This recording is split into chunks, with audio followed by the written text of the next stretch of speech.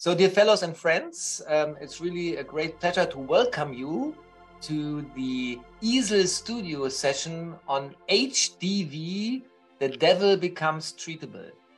Uh, as you all know, hepatitis D virus infection causes the most severe form of viral hepatitis.